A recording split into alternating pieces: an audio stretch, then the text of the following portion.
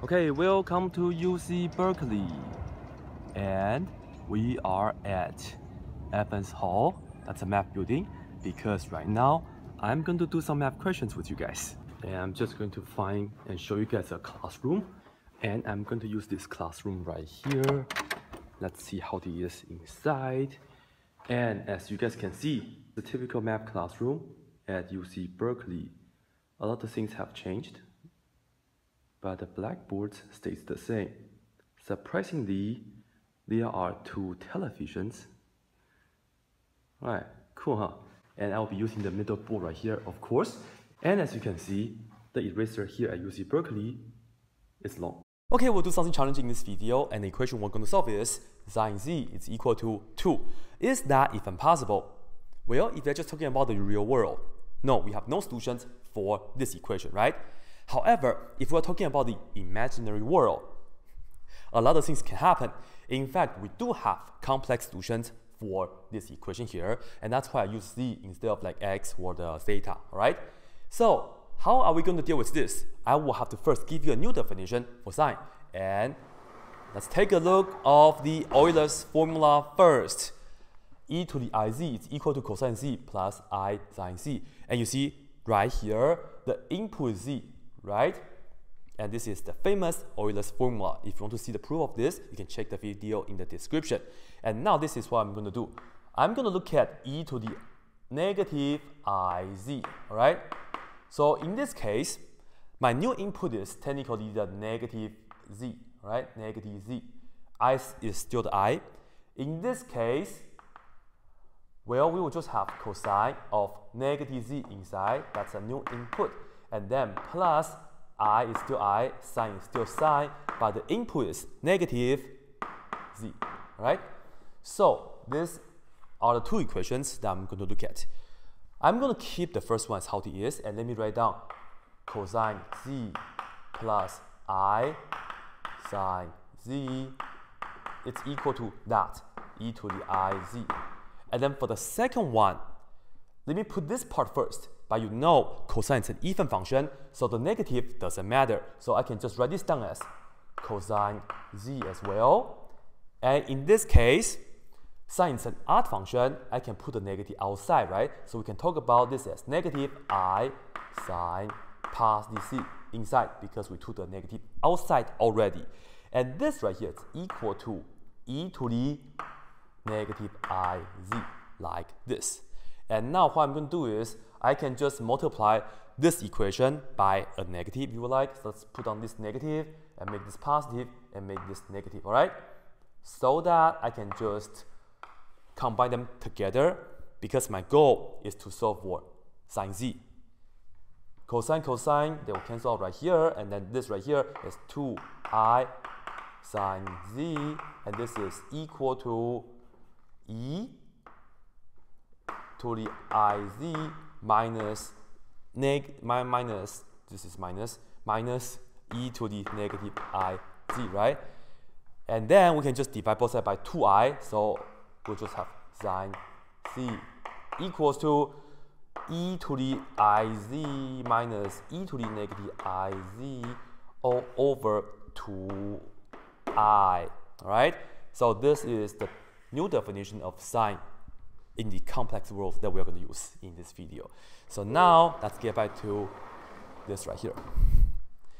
Once again, sine z is equal to e to the iz minus e to the negative iz all over 2i, and then we can just say this is equal to 2 on the right hand side. And now we'll just be doing some typical algebra we can multiply 2i on both sides. So this is e to the iz minus e to the negative iz equals to 4i. And let me tell you, this is very similar to sinh, okay, sinh x.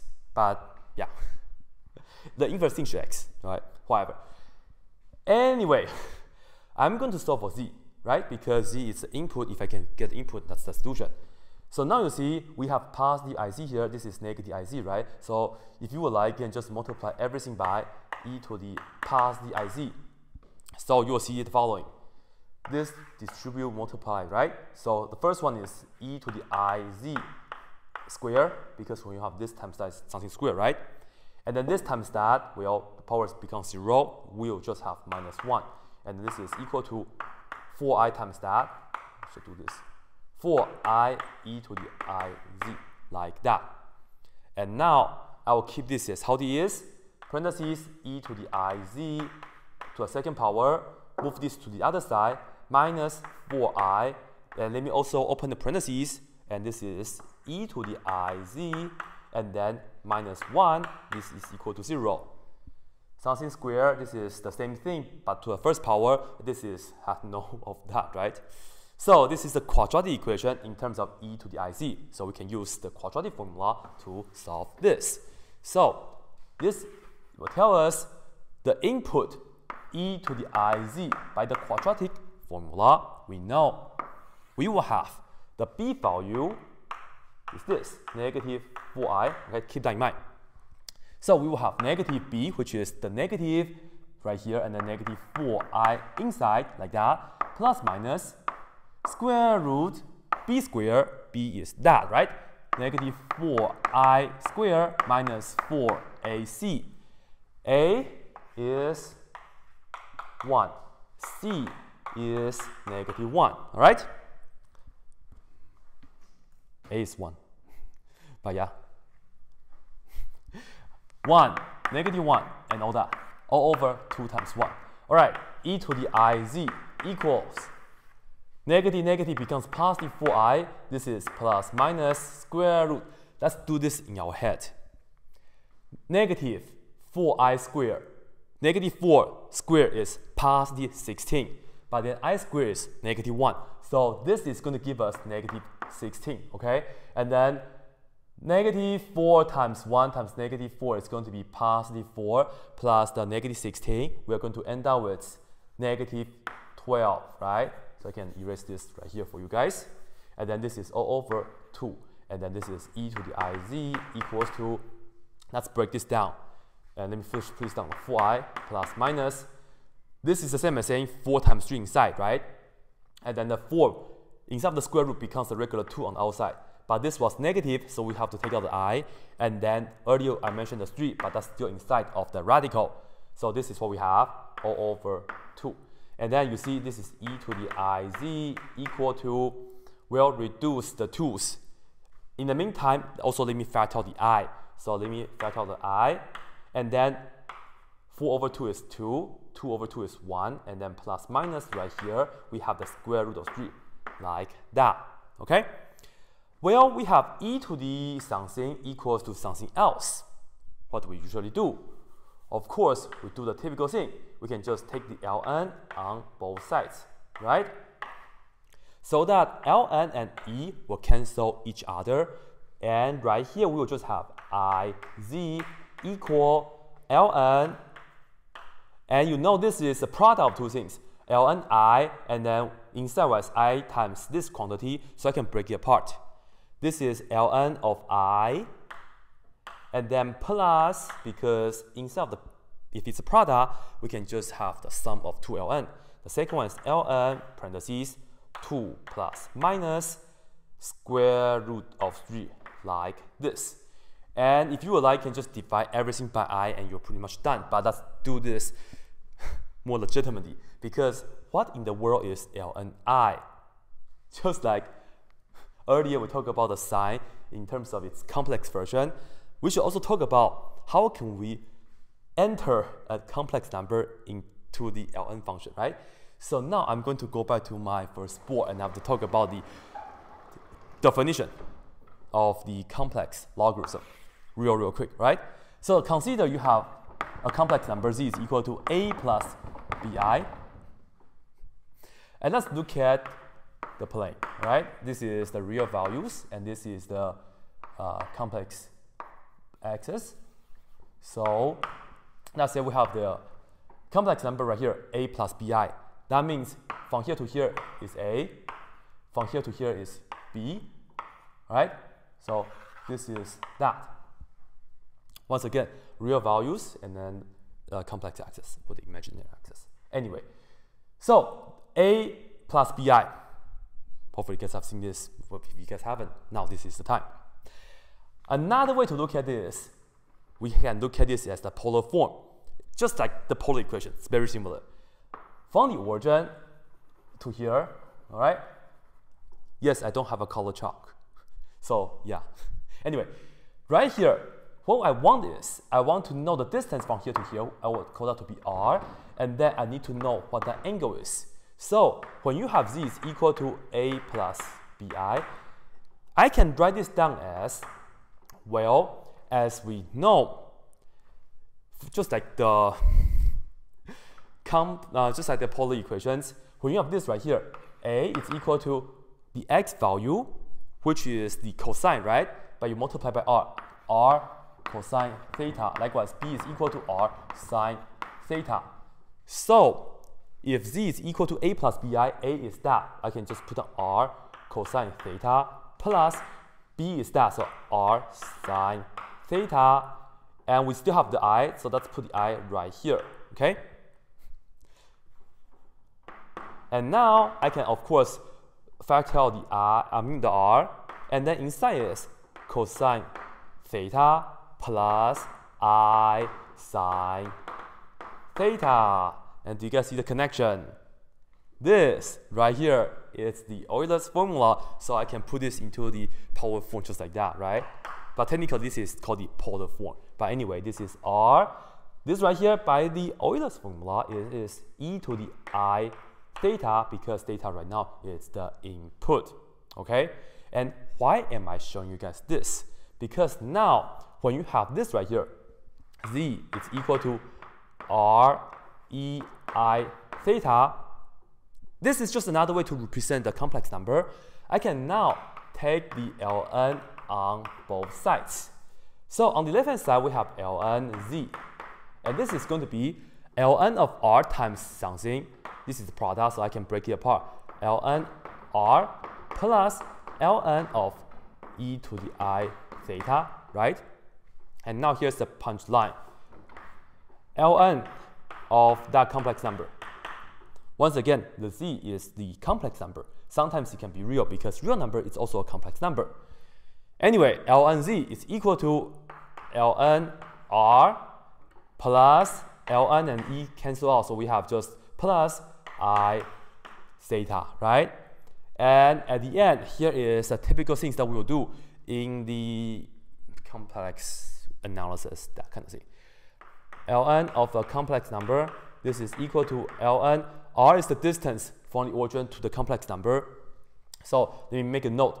We use absolute value to denote distance, right? So r is equal to absolute value of z. In this case, just like the typical distance formula, you know this is a squared plus b squared. But instead of r, I'll put down this. So we will have ln absolute value of z to denote the distance from the origin to the complex number, right? And then plus i is just i. And to be slightly technical, this theta right here is called the argument. And they just put on arg. Um, doesn't really matter. I'll just write it down right here for you guys at this one time. But because I'm not really getting to complex analysis, let me just box this, all right? R is the distance, theta is the angle. That's what I'm going to tell you guys in this video, but here's the typical things that they will do.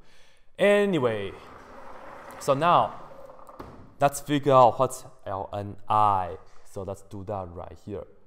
Uh, question, what is LNI? And now we have to look at the real axis and then the complex axis, right? i is the same as saying 0 plus 1i. 0 is right here, and then 1i is right here. So here we have the i. Let me put it down here, right? So this is the same as 0 plus 1i. Okay, so what's the angle from here to here? Pi over 2, right? So this is going to be the angle theta. And what's the distance from here to here? Just one step up, right? So we know r will be 1, or the absolute value of z will be 1. So, as you can see, this is going to be by that formula, okay, by that formula, which is going to be ln of r, which is 1. Let me just denote that. This is supposed to be r, which is 1. and then we add it with I times this angle.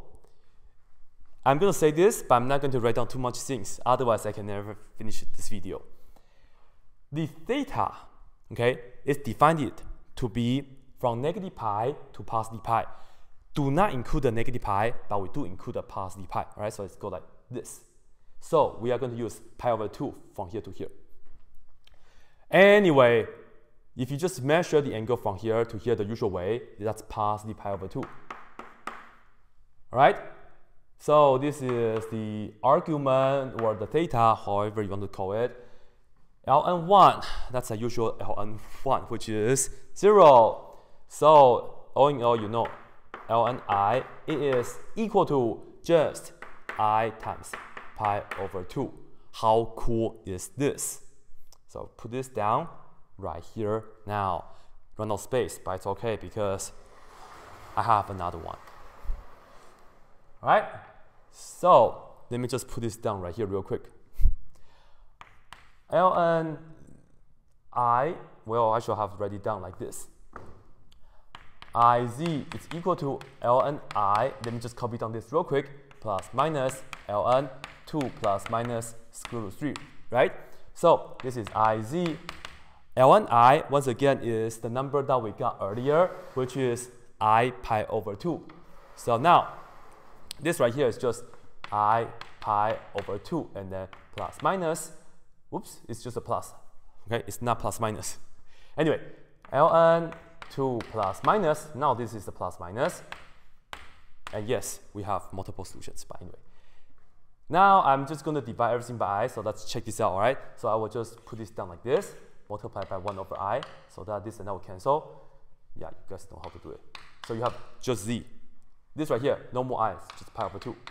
And then plus 1 over i right here, 1 over i. And then this is ln 2 plus minus square root of 3, okay? I in the denominator doesn't make us comfortable, so let's multiply i on the bottom and also i on the top. And you know this is going to be negative 1 on the bottom. So we'll change the plus to minus. So all in all, z is equal to pi over 2 minus, once again, the minus is because i squared give us this minus. On the top, 1 times i is still i. And then we have this part, ln parentheses 2 plus minus square root of 3. This is legitimate. This is the answer Okay, one of the answers, well, actually two of the answers, because you have the plus minus to that equation. And perhaps I'll just leave it to you guys as an exercise. If you are checking out a textbook question and maybe you are working this out, right? Some textbooks, they may give you this for the final answer. We have z is equal to pi over 2, and they do have the plus minus right here.